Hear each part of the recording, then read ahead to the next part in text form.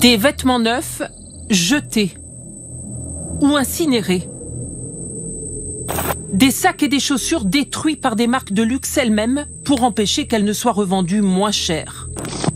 Des monceaux de vêtements expédiés au Chili ou en Afrique, devenus les dépotoirs du textile.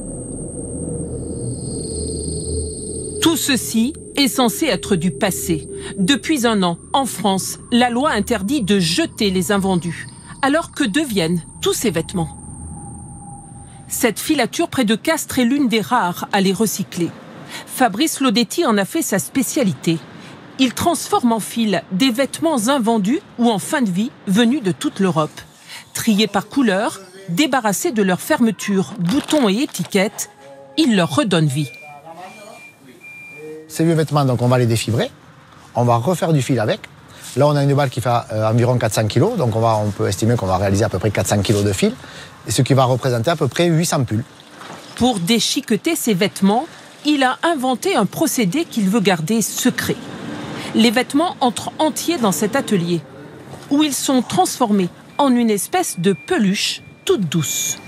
Ça, c'est le résultat après la transformation. Donc vous voyez, on n'a plus, de, on plus de pull, on a de la fibre qui va pouvoir être de nouveau retravaillée pour refaire du pull. Infiniment moins polluant que l'industrie textile classique. Aucun produit chimique n'est utilisé. Ici, on recrée les couleurs en faisant des mélanges comme un peintre. Il y a, du violet, il y a euh, un bleu émeraude, un bleu roi, voilà. Et tout ça, dans des différents pourcentages, donne ce résultat. Voilà. Mais ce jour-là, c'est de la laine blanche qui est peignée.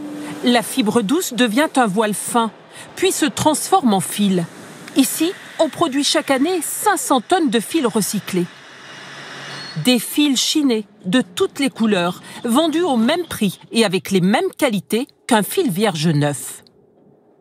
On a des fils qui sont, vous voyez, avec une très très bonne, très très bonne élasticité, une très bonne résistance. Il va pas boulocher, il va résister à l'abrasion, euh, à toutes les agressions de la vie quotidienne, aussi bien qu'un fil en fibre vierge.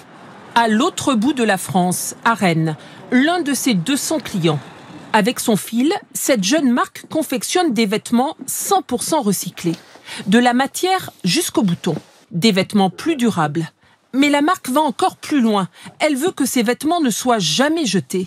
C'est même le cœur de son concept tous nos vêtements sont consignés, exactement comme une bouteille de lait euh, en verre. C'est-à-dire que le client, euh, dans 10 ans, s'il ne porte plus ses vêtements, peu importe la raison, on lui rachète à 15% du prix sans condition. Revendre moins cher,